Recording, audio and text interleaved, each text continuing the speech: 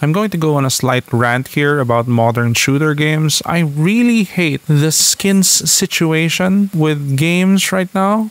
My god, you're playing this like borderline military simulator, I guess. Someone's gonna come running down the corner and they're dressed like a clown and their gun looks like a dragon and oh my god it just doesn't make any sense. At least battlefield isn't that like crazy. Call of duty is definitely that crazy. Dare i say call of duty right now it looks stupid. Like the visuals for me are very wrong. I don't like it it ruins the game for me. Call of duty has become stale and also the game looks pretty ridiculous